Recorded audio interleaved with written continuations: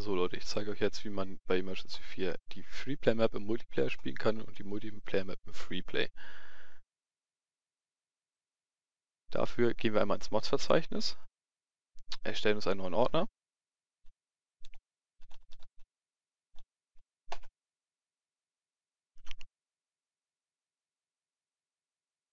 Und parallel ins Datenverzeichnis.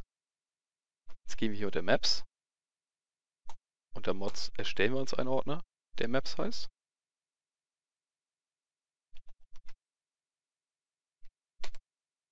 Suchen uns hier nun die Freeplay DDS, EM4 und EFT aus, kopieren diese, fügen die in das Mod-Verzeichnis ein und benennen diese um. Und zwar jeweils im Multiplayer DDS, EFT und EM4.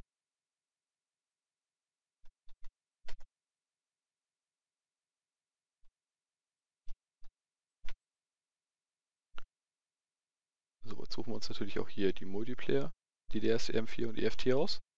Kopieren diese natürlich auch hier rüber.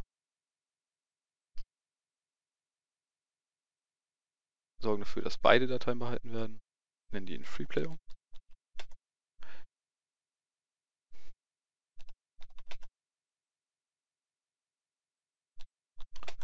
Und das war's soweit.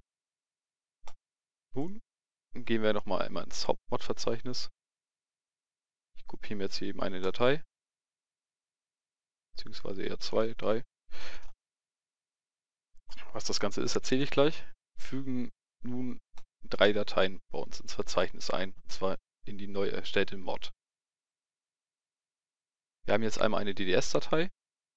Das ist eine Grafik, die nachher in der Mod-Auswahl angezeigt wird. Die liegt im DDS-Format vor. Das Ganze kann man zum Beispiel mit Paint.net bearbeiten. Dann haben wir eine EM4-Mod Key-Datei. Da ist nichts anderes drin als ein bestimmter Code.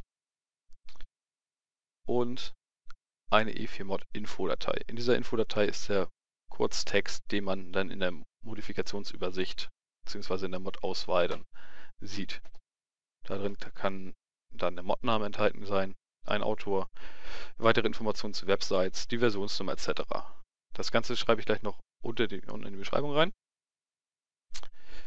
Und das war's dann eigentlich auch. Jetzt können wir ins Spiel reingehen und wählen uns unsere neue Modifikation aus. Die muss natürlich der andere, wenn wir das im Multiplayer spielen wollen, auch haben.